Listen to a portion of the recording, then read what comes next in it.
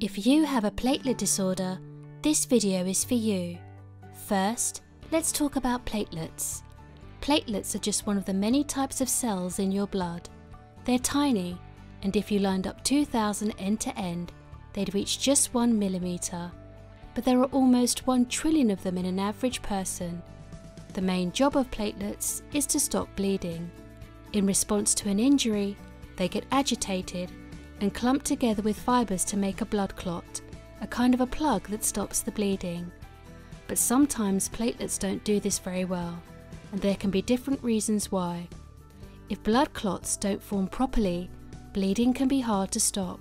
Some platelet disorders make bleeding last a little longer, but some make it last a lot longer and might mean treatment is needed to help stop the bleeding.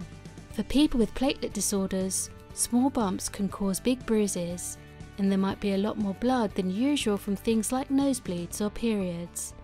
Your nurse or doctor will be able to show you how to stop nosebleeds and minor cuts with first aid. But for more serious injuries, or perhaps heavy periods, you can have treatments that will help make it easier for your blood to clot. Living with a platelet disorder means being that little bit more careful about doing things that might cause injury, so it's important to keep your clinic's phone number handy. Should you ever need a treatment, a support and help is available. You should also be sure to let your doctor or nurse know before you have an injection, and to make sure your dentist is aware of your condition.